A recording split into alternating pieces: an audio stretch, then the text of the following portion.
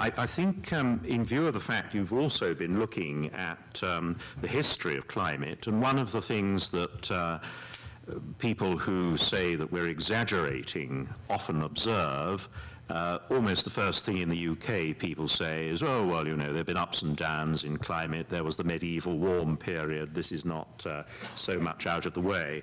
And with Gavin Schmidt, we actually have somebody who is a climate scientist at uh, the NASA Institute for Space Studies, but he is a student of the causes of climate change in the past, in the present, and in the future and uh, therefore is well qualified to deal with uh, what is often um, advanced as a reason for not being so alarmed and sober.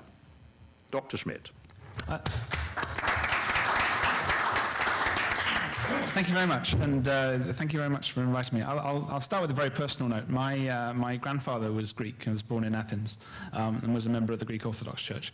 And, uh, and his great-grandfather uh, was the uh, designer of what were the royal gardens in Athens. And there's a little plaque uh, that says uh, uh, to, um, you know, in, in support of uh, Frederick Schmidt, who was my ancestor who designed those gardens. Um, so this is actually quite interesting to be here today. I'm going to talk about um, climate models, I'm going to talk about climate policy, and I'm going to uh, there's a little bit of overlap with, uh, with Robert's uh, talk, so I'll skip those things. So I'll talk more about the things that, um, are, that are unique to, uh, to me. Uh, we've talked about uh, how climate does change. We've seen these graphs before.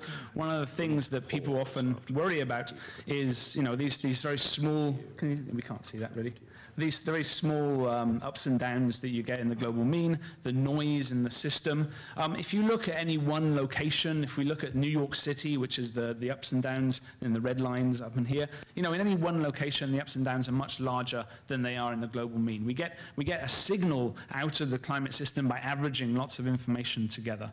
And you have to do that, otherwise you just see static. And it's only when we put everything together that we get a good picture of what's going on in the system. And that works, you know, both at the monthly level, the annual level, uh, and, uh, and the global level. Um, Robert mentioned, you know, well, you know, how much does, does a couple of uh, tenths of a degree matter? Does the planet even notice? Well, the planet does notice. These are old photographs of glaciers, uh, one in the Alps, uh, one in, uh, in, the Rockies in Canada, and you can go to any of the glacier, uh, air, glaciated areas around the world. You can go to the Himalayas, the Andes, um, Africa, uh, anywhere you like, and you see very similar things. This is from about 100 years ago, and this is the situation today. From exactly the same spot, you go back and you look, and things are very different. The planet notices small changes. And uh, that's, uh, that's, that's the key issue that we have to face. Um, changes that we can see already affecting uh, communities. This is uh, the, the first one is a, is a house in, uh, in Shishmaref, which has now uh, collapsed. These are uh, people that unfortunately built their houses on sand. It was frozen sand when they built it, and they were in the middle of, of an ice field. Now they're no longer in the middle of the ice field. The, the ground has, has unfrozen, and the, the sea has just washed the sand away. And so that entire village uh, had to be moved. Um, the the, the, the, last picture at the bottom there is actually quite interesting. That's the, a picture of the, um, the, the, reservoir behind the uh, Glen Canyon Dam. So that's Lake Powell. Um, the, the white line that you can see is where the reservoir was when it was full back in the early 90s. It hasn't been full for a long time. Uh, there are two reasons for that. One is that it hasn't been raining as much, and so part of the American Southwest has been in a drought condition for, for a couple of decades now. Um, but we're also drawing more water out. The use of that water uh, has accelerated dramatically because of the population, because of the increase in agriculture uh, downstream in the Colorado. And so this illustrates the, the two things. Climate change isn't good or bad. You know, it's, it's not something uh, that's intrinsically uh, has some value. But uh, our society relies on the climate, and it's the intersection between climate change and our needs for climate services that causes uh, the particular problem that we had. So, you know, if climate change uh, does change because of natural processes, well, that's fine, but when, when we have built our entire society based on assumptions about climate not changing, uh, then that has a serious consequence. So what is it that we try to do? So I'm a climate modeler. I work for the NASA uh, on one of the big climate models. There's, there's about three groups like this in the US. There's about 20 groups like this in the, uh, in the, uh, in the world. Um, and what we're trying to do is actually very ambitious. What we're trying to do is explain everything that's going on in the planet um, the, the, you know, the movements of the rain bands, the wet and dry seasons in the tropics, the storm systems in the, uh, in the, um, in the mid-latitudes, the coming and going of the sea ice in, in the Arctic. And we're trying to model that just based on our knowledge of the very, very small scale things that are going on. The amount of water that's evaporated from the ocean when the wind blows, the amount of rain that comes from a certain kind of cloud, the amount of uh, ocean current and how fast that goes when the wind blows the way it does.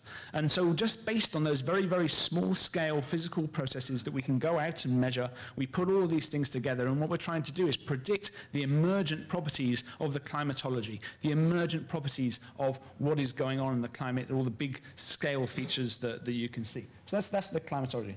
And, and, we're also trying to predict how variable it is. You know, why is one winter cooler than another winter? Why, is, why does the El Nino effect in the, in the Pacific happen the way it does? So we're also trying to work out why it's changing and why it's unstable. Now, that in and of itself would be a great intellectual task, and it would be something uh, worthy of, uh, of, of, humanity's uh, intellectual endeavor, uh, purely in and of itself. Uh, but the real reason why uh, we care about this is, the, is because we're kicking this system extremely hard. Now, for, the, for those of you who are American in the audience, let me, let me stress that the donkey there is not, uh, is not implying not that it's only the Democrats who are causing this. Um, it's, it's, pretty, it's pretty ecumenically shared across different political parties. Um, and we're kicking this system when we don't know what's going to happen. Right, we don't know what's in that box. We don't know how the system is going to respond because we have no analogs for what it is that has happened to the planet. Um, there are lots of different things that cause the planet to change, uh, to change its climate, um, and, they, and they range from wobbles in the Earth's orbit to variations in the sun, to the effects of big, large volcanoes, to the effects of industrial activity, to the effects of, of aerosols, small particles in smoke and in, um, in exhausts that, that, that create changes in how the sun's radiation penetrates the atmosphere. Changes to the ozone layer, that also affects climate. Changes to deforestation, that changes climate. Um, contrails change climate. There are lots and lots of different factors are all kind of making, uh, uh, making the climate change. And so we have to put all these things together.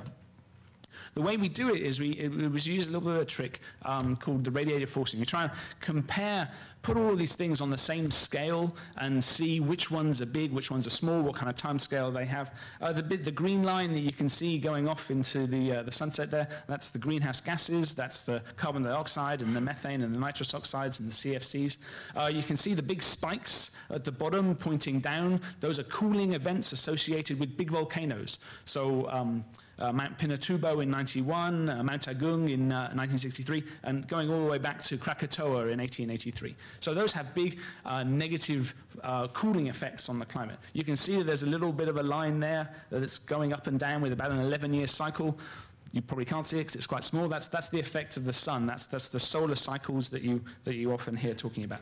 All of these things are very small compared to the change that's going on because of the greenhouse gases when we put all those things together and we say, okay, well, all those things have happened over the 20th century, um, let's put them into our models and let's compare what we saw over the 20th century to what we actually measured over the 20th century. And then we get pictures like these. So the SAT stands for surface air temperature, and the black line um, in, the, in this picture here, that's the actual data going up, and you can see this is about the 1900 to 2000.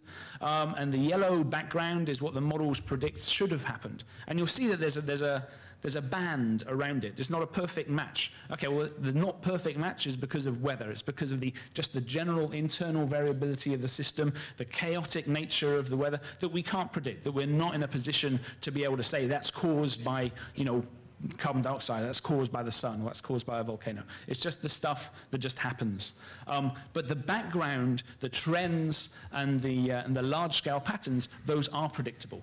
And we know that our input has made a difference by comparing that graph to the one below it, where you see the blue uh, envelope, and that's what we predict would have happened in the absence of any human activity, right? And so you can see that the real world has diverged quite dramatically from what the natural uh, world would have done in the absence of our effects.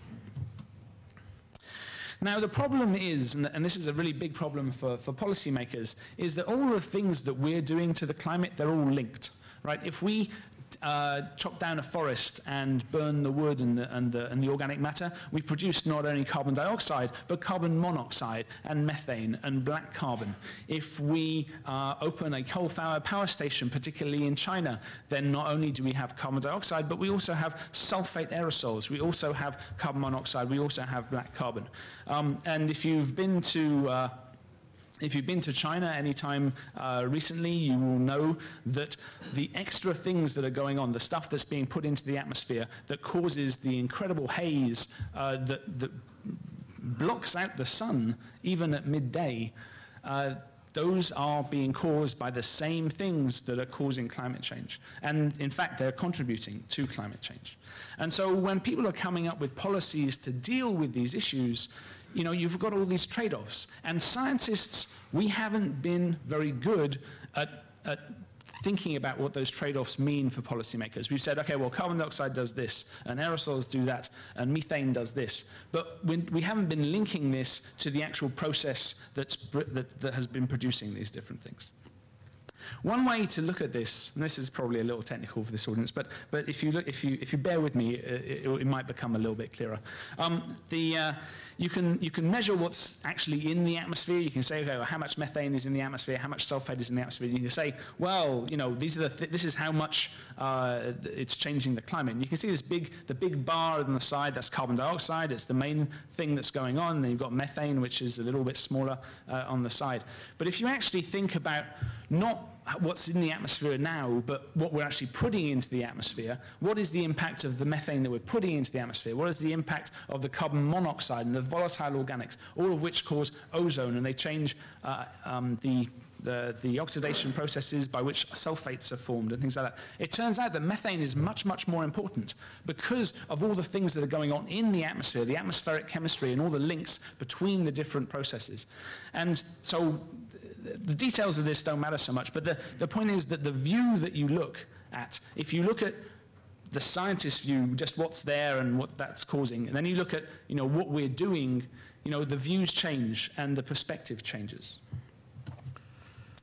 Um, the future projections, you know, these are business as usual type, uh, type of, uh, of projections, what's going to happen.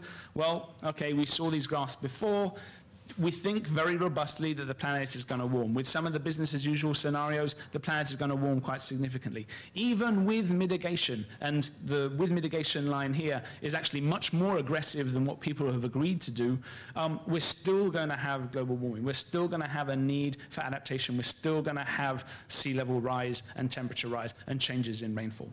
But one of the key things that that people often don't realize is not everything that we talk about when we're talking about climate model results is robust. Um, some of the things that we talk about, changes in, in rainfall in particular in particular regions, some models say the Sahel, it will get wetter. Some other models say the Sahel will get drier. Some models say that the monsoon will intensify in India, and some say that it will become less. Now, that is very disturbing because you know we're talking about a billion people who are going to be affected by these things and yet the modelers are saying well we don't know which way it's going to go. We think that things are going to change very dramatically but you know there's a there's a balance here and it might change because of these things or it might change because of those things. Change is the constant but which direction it's going is very uncertain and that is very problematic for us um, especially, you know, I'm going to skip this because Robert mentioned how, uh, how uncertain uh, ice sheets were. Um, but people often, often ask me, you know, so what does that mean? What does it mean when somebody says that a model says X? Um, should I take that seriously? Why should I take, you know, what I say seriously or what, what anybody in the IPCC uh, says. You know, should you take that seriously? So there's a number of tests that you can that you can apply. So the first thing to ask is, you know, if a result is that something that comes up in lots of different models. right? So that's, that's the first thing. If it's just one model, it could just be some weird thing. It might be right, but it could just be some weird thing. You need to have backup evidence. Does the result make any theoretical sense? Okay, well, if it does make some sense, you know, it, it, that you know the, the large-scale patterns are leading to this, then okay, well that's that's some support. And have we seen something in the observations already? There's lots of things that people project where there's no evidence for that in the observations already. Sometimes because the data isn't good enough, sometimes because the signal is small. But it does mean that you have to be a little bit more careful about uh, interpreting that. And then thirdly, you know, do the predicted magnitudes of this change and the theoretical magnitudes of this change and the observed magnitudes, do these things all match up? And so if that's the case, then these things might be robust. So when it comes to temperature rises, all of those things fit. You know, we have a good idea, it makes physical sense, the theory is right, the model is right, and it's, and it's matched by the observations. When it comes to something like uh, the connection between hurricanes and global change, well, then it doesn't line up. You know, the magnitudes of what's predicted, the theory is very complicated, the observations are a little obscure, and so you're correct in thinking that that's a more uncertain part of the science coming back to what people can do, um, people can tackle real things. They can tackle um, emissions in China from their power stations. We can tackle emissions from, from cars and trucks in America. We can tackle um, pollutants uh, from power stations in Europe. All these things are kind of within the scope of the Americans and the Europeans and the Chinese to tackle.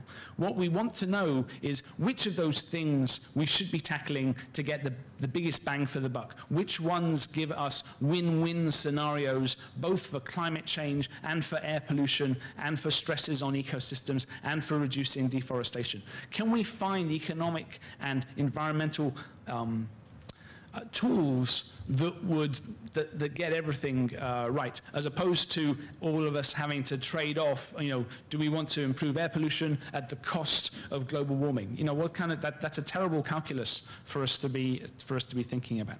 And it turns out that when you do all those kind of things based on on the different sectors, there are two key elements uh, that we could be tackling that would provide win-win solutions for a whole range of different environmental problems. Uh, one of them is uh, the use of coal and biomass in Asia for domestic burning. This produces uh, black carbon, it produces air pollution, it produces methane, it produces carbon monoxide, it produces climate change.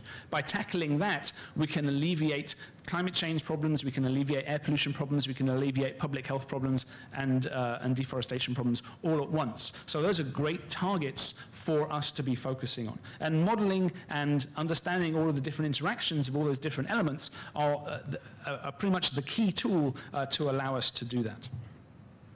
Um, I'll just skip that. So let me quickly conclude. Um, we've been able to explain most of what's gone on in the climate over the last 150 years, and actually much further back, um, uh, using what, the physics that we know, the physics of greenhouse gases, the physics of aerosols, the physics of ozone depletion, uh, and, and the like. We know that because the planet is still catching up with what we've already done, there will be warming to come, warming that's in the pipeline as the planet catches up with what's in the atmosphere now but we're increasing the amount of carbon dioxide in the atmosphere. And so what's um, the minimum that we can get away with uh, is still going to be warmer still. So we're not going to be able to stop global warming in any of our lifetimes. All we need, all our choices are, are to make it more or less serious. Um, increases in carbon dioxide emissions are going to continue. Um, methane, black carbon, CFCs are being controlled and are more controllable and actually uh, give us very good uh, targets for buying us a little bit of time. We can reduce the amount of methane in the atmosphere, we can reduce the amount of black carbon, we can reduce the amount of CFCs. Um, in my opinion, uh, the forcing is probably not yet at a dangerous level, uh, but that's very much my personal opinion, and if I was an Inuit living on the coast of Alaska, I'd probably have a very different opinion about that. One of the, the key things that people have to remember is that the key impacts, you know, where people live and the things that they depend on, rainfall uh, estimates in the American Southwest, rainfall estimates in, in uh, the Mediterranean, these are not as strongly constrained as the temperature rises. Um, and that's, that's very, uh, that's very troubling. Um, one thing that is good uh, for my own, uh, for my own, uh, you know, personal uh, career uh, path is that climate change is a long-term issue. It's not going to go away anytime soon, and I'm going to be, unfortunately, giving talks like this uh, for the next 30 years. Um, and I'll just, I'll just quickly uh, finish off, and, and, because these are, these are very true things. So one is from Niels Bohr, who said, uh, prediction is difficult, particularly of the future. And he was, he was very right. You know, we're not fortune tellers. We don't know exactly what's going to happen. And, and it's because we don't know exactly what's going to happen uh, that climate scientists are saying, you know what, maybe we better slow down a little here. Um, and there was, there was a terrible movie, which I'm sure none of you have seen uh, because you have much uh, more elevated taste than that, called The Day After Tomorrow, which was a, a, a, disaster, climate disaster movie. And there's, there's one point, a particularly stressful point, where somebody runs into the, the control room and, uh, and they've given up on the models. And he says, grid models can't save us now. And it's true, you know, the models are not going to save us. You know, it's our actions that make a difference. It's not what the models uh, tell us about. And um, just, uh, you know, if you want to learn more about climate change and you want to learn, you know, more about the background and how scientists are actually going about trying to find these things, I have a book uh, called Climate Change Picturing the Science, which is a collaboration with photographers, uh, people that work for National Geographic, Newsweek, Time, uh, and the like, to, to tell a more complicated story about climate change, to get away from the cliches of polar bears and, um, with, with, all due respect uh, to, to, the Arctic people, um, and, and, extreme weather. And, uh, and I'll just leave it at that. Thank you very much.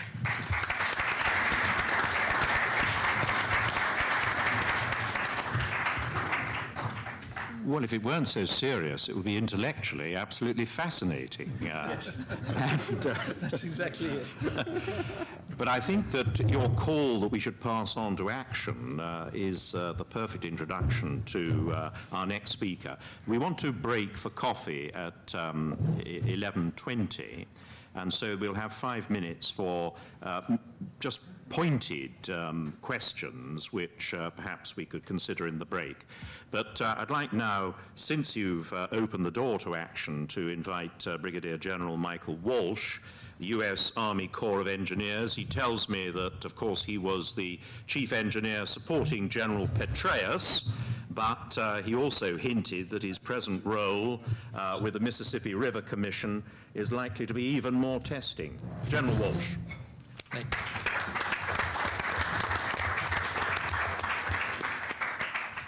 Thank you. Sir. Appreciate that. And uh, His Most uh, All Holiness, Eminences, and uh, distinguished delegates and members of, uh, of my committee, uh, I would like to uh, talk to you a little bit about the, the Mississippi River and restoring the balance.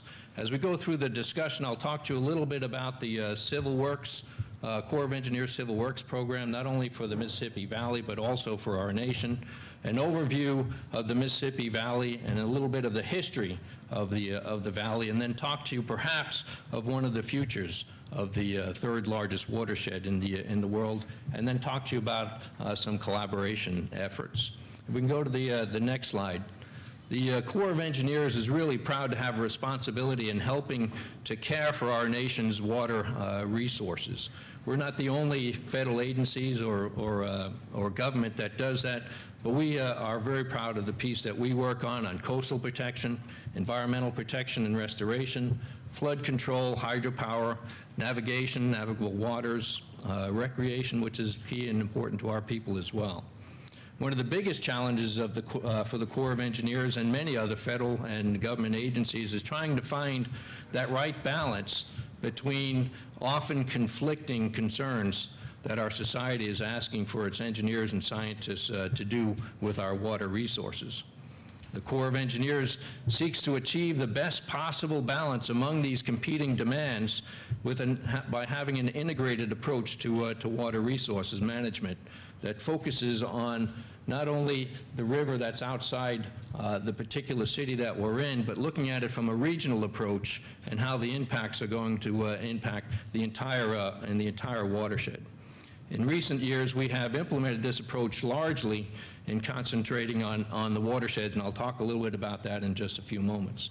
Now, as was mentioned, I am the uh, division commander for the Mississippi Valley Division, and I'm also the president designee of the Mississippi uh, River Commission. I'm the uh, division commander of one of nine that the chief of engineers uh, has, and he'll be here to uh, address you uh, tomorrow. In that uh, division, in my division, we have uh, six subordinate uh, offices from uh, Canada on down to, uh, to the lowest uh, office that I have here is in, in New Orleans, and about 5,000 uh, employees. You can see uh, me in uniform, and you may think that those 5,000 employees are, are Army, and I can tell you there's about, in, in the Corps of Engineers, there's about 600 military and about 34, 35,000 uh, civilians. Uh, So the Corps of Engineers is not just, uh, is not just military, but because of a a quirk in our, in our history, uh, the uh, water resources, our portion of it, is taken care of in our Department of Defense. And as I have uh, numerous conversations with my counterparts along uh, many different countries I've been in the world, they all often ask me, how did the U.S. Army get involved with, uh, with water resources? But that's another 20 minutes, which I won't, uh, I won't go into. Uh, Next slide. From uh, the area that I particularly work in is Mississippi Valley Division. We look at uh, navigation as one of our key missions. I have uh, 59 locks, uh, locks and dams that we're working on, uh, 4,200 miles of commercial waterways, 51 shallow, uh, shallow draft harbors, and seven deep draft harbors. In the flood, uh, flood damage reduction, I have 36 reservoirs that we keep track of, 56 uh, pumping stations, over 8,000 miles of, uh, of levees. You can see in the environmental stewardship as well, over uh, 48,000 acres uh, for environmental stewardship mitigation acres. We also have uh, four hydropower plants, and we do emergency management up and down the river, typically address uh, five to nine emergency, uh, presidential emergency operations a year. Uh, Last year, of course, we were down here working, uh, working Gustav and Ike. We worked the uh, floods up in uh, Cedar Rapids in, in Iowa uh, last, uh, last spring, and this past winter, we also worked at uh, Fargo Moorhead, trying to work that city as, um, trying to save that city from the floods that were coming in that direction as well. The, next slide. In regards to the, in regards to the history, the Corps of Engineers has been involved with the Mississippi Valley since 1824, first by working on a navigation part of, uh, of the center of our country, uh, by doing surveys and trying to pull snags out of the, out of the river so that our river traffic, riverboat traffic can move up and down the, the Mississippi and open the center part of our country. Beginning in 1861, we started working what we call a levees-only approach to try and uh, limit the amount of dredging that we had to do into the river and also enhance uh, navigation during that time frame. In the 1920s, uh, hundreds and hundreds of miles of levees were built in the lower part of the, uh, of the Mississippi, not only for navigation, but also for flood damage reduction. And then in the 1930s, uh, we started working on, in this country on our locks and dams, from Lock and Dam 26 up to Lock and Dam 3, up in the northern part of our, uh, northern part of our country, again, for, uh, for navigation. 1979, over 100 years ago, over 180 years ago, the uh, Congress had put together the Mississippi River Commission, of which I'm the president, uh, president now, trying to develop a comprehensive plan for uh, the Mississippi Valley for flood control, uh, flood damage reduction, and, uh, and navigation. And then, of course, we had the, uh, the Great Flood of 19, uh, 1927. I think there was some discussions uh, about that, which great portions of, uh, of the center part of the United States was, uh, was inundated, and many, many people were living on top of the levees and were killed during that time frame. Congress uh, put together the 1928 law, which put together a project called Mississippi River Tributaries Project, which asked us, the Corps of Engineers, to enhance our flood damage reduction systems so that there wouldn't be uh, continued flood on the lower part of the, uh, of the Mississippi. Uh, During that act, the requirement from our Congress was to put together a comprehensive and unified systems of public works in the lower part of the Mississippi that provided protection for flood and also work on the navigation piece. Let me jump uh, real quickly to a, uh, to a different discussion. As was, as was mentioned, I was uh, General Petraeus' engineer in Iraq uh, for a year. That was in October of 06 to, uh, to October of 07. And from that uh, job, my uh, next assignment, next slide, was to come to the, uh, to the Mississippi Valley Division. So what I typically would do is, is try and read the history uh, of the area that I'm particularly going to work with. And so I read these, uh, these books upon their shoulders, Designing the Bayous, uh, Lanterns on the Levees, uh, Rising Tide. I think uh, John Barry addressed you uh, yesterday, and I know he's out in, in the audience, so I won't, uh, won't talk much about his book because uh, he'll, uh, he'll, he'll talk to me about it afterwards. Uh, and then, of course, um, the rivers we have, uh, we have wrought. As I read through the history of, of our river and, and about ready to take this job, I asked, what is the future? Where's that book that provides me what the future of the third largest watershed in the world, what's that supposed to look like? And, and staff went away for, for a little, little bit, and I called them back in a couple of weeks later, and, and I asked them, well, where's that book that defines the future of the third largest watershed in the world? And uh, regretfully, there is not a, uh, a book that defines what the uh, third largest watershed, the Mississippi uh, Valley watershed, is supposed to look like 100 years from now. And so what we're looking at, next slide, what we're looking at is what is that governing body that covers down on the third largest watershed in the world. As you can see here, it covers down on three Corps of Engineer divisions. There's three other, there's two other engineer generals that also provide support in this particular area. This uh, Mississippi Valley Division covers 1.25 million acres, uh, uh, square miles, pardon me, 1.25 million square miles. 41% of the United States puts water into, uh, into uh, the, uh, the Mississippi. So part of my job now is to try and develop what that future, what should be the working future of the third largest watershed uh, in the world, and what is that intergenerational commitment that we can do that will impact not only the valley, but also, as mentioned a few times, uh, the globe as well. And so at working with the Mississippi River Commission and 20 to 30 uh, public meetings in the past two years, we came together and put together this next slide that we're, we're, I'm calling is uh, America's watershed, perhaps a 200-year vision of what we should be looking at on our on the third largest watershed in the uh, in the world. Uh, I'll let you uh, I'll let you read through that as a talk. Most of the intergenerational commitment, what we're looking for in this valley, has to do with uh, comprehensive flood damage reduction, uh, national security, environmental sustainability and recreation, certainly infrastructure and energy, water supply, water quality, and the movements of goods in agriculture and manufacturing. And you can see what we're looking at from a working vision on what we should have on the third largest watershed in the world. Well, what I'm finding, of course, is the same thing that you would find is everybody's interested in a different aspect in the river's bounty, whether it's navigation or improve, improving uh, flood risk reduction, clean air, clean water, sustainable ecosystems. But everybody wants their particular piece outside their particular town. And so how do we put together a vision that will encompass the entire valley of the, uh, the Mississippi Valley? Our immediate goal is to look at the entire watershed from a planning perspective and make the best, most enduring use of our water resources, both economically and environmentally.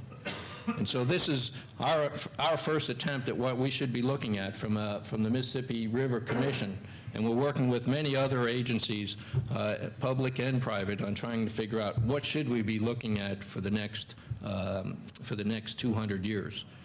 Uh, Us Americans, uh, as we look at uh, 200 years, people's eyes roll over, and we're really looking at what's happening uh, next week. So trying to make sure that people understand the long-term commitment that we need to put uh, not only on our globe, but also on our, on our uh, valley is significant, and we have a good, a a good start on that.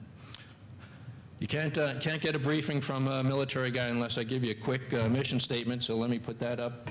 Uh, The key item that I, that I'd like you to draw your attention to is providing collaborative engineering solutions to all of those activities that you can see below that, uh, below that word.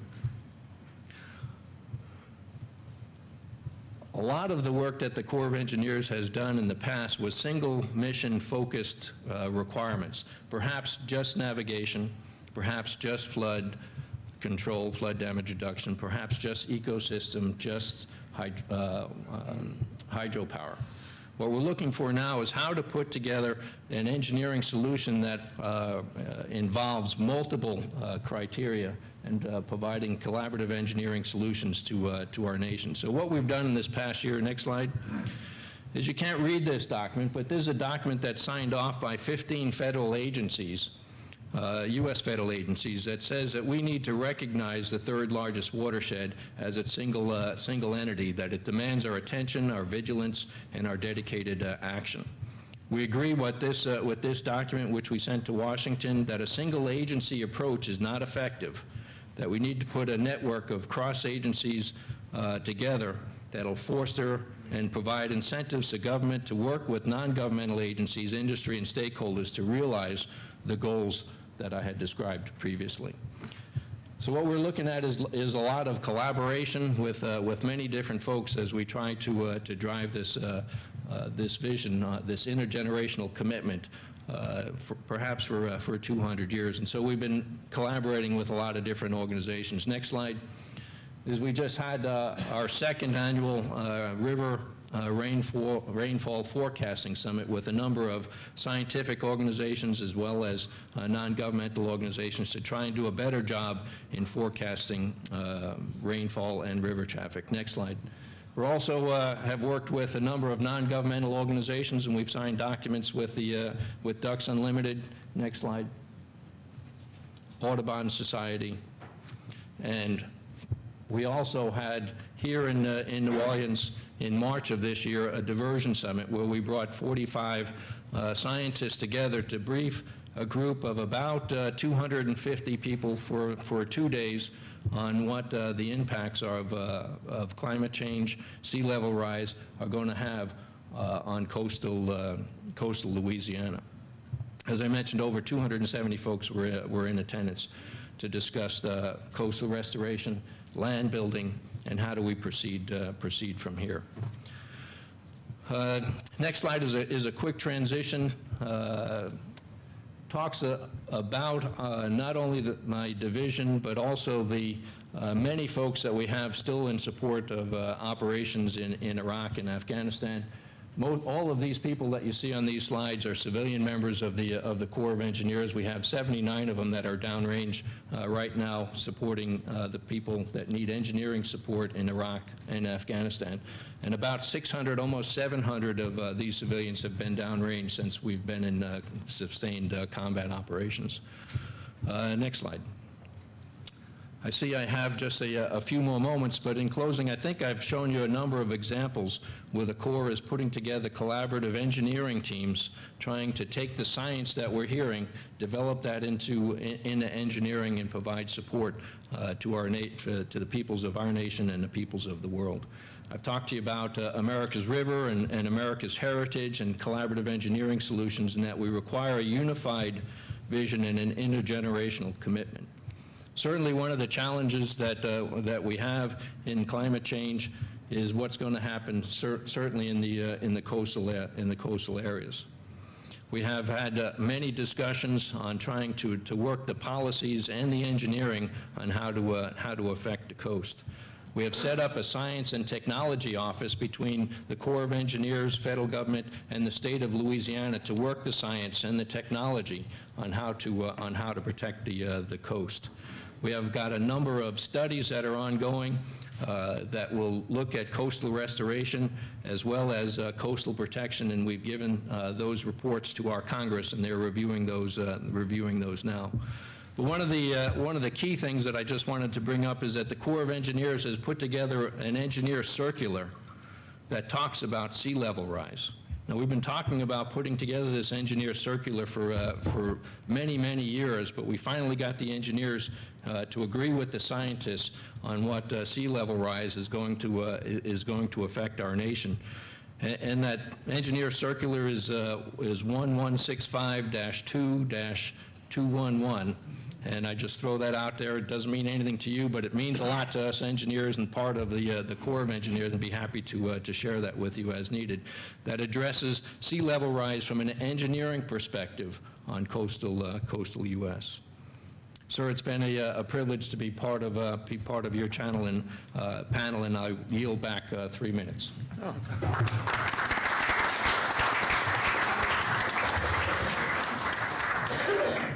Well, it's very good after the global scenarios, uh, after the science, Uh, we've had it translated into the complexity of the action, the collaboration needed in a particular area, a very vital area, the Mississippi Basin, and we're extremely grateful for the engineer's view of uh, the one picture of reality we've been shown. Uh, just before we break for a quarter of an hour uh, of coffee, um, are there uh, questions? The um, ambassador for the environment of uh, the Republic of France. Thank you, my lord.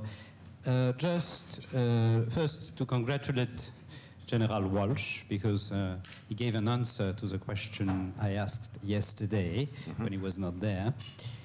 Of course, it's strange for a Frenchman to see a, a general in charge of uh, water policy, but I think that the, it's not our tradition, but uh, I think that military and civilian administration are working together with the sense of uh, service public. And in any case, it's a matter of urgency in our countries, and so it's good that the army is taking care of that issue. I was about to, to ask a question to uh, um, uh, Dr. Corell.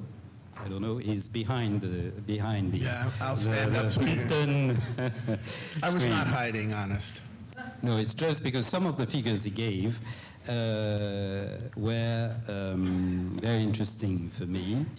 I just want to say that uh, we've had in the European Union, and I'm representing here uh, the Minister for Ecology of France, we've had a strong commitment of action those past 10 years. So it's not only a question of um, what we have to do in the future, considering the fact uh, we all know, and I know that we're all convinced in that room, of course, it's how to put pressure, uh, how to mobilize public opinions in order them to go ahead.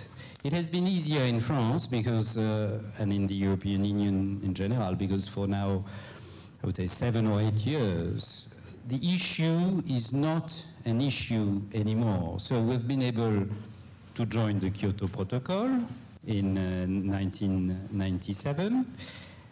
On us, it's a minus 5.5% of emission in year 12, uh, in year 2012 from 1990, and we'll do a 7% reduction. The whole European Union will do its lot, will, will, will stabilize. We have a commitment to do uh, about um, minus 20 or 30 percent in year 2020. We have put together, under the French presidency of the European Union, uh, uh, a true, uh, it's called energy package, which we hope will, will work. So we are really engaged in, in, in real action.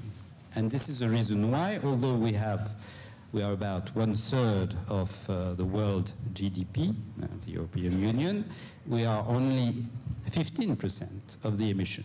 So it has been possible because there is that today, it was not the case 15 years ago, but today, that strong uh, feeling in the public opinion in England, in Germany, in France, in Italy, that something has to be accepted. So my question is, for climate action, for your, your, your, your institution, how is it possible to help the new president, but to help also the various governors and to help Congress to be involved in strong commitment and real action. Well, I think the question of uh, mobilizing public opinion and mobilizing the political classes and the decision makers is obviously an extremely crucial aspect, and I hope that uh, it's something that the three speakers who come after the coffee break will actually reflect on. Um, but because I, think it is such a crucial, a crucial point. Uh, how do we pass not only to engineering action, how do we pass to political action and influencing public opinion?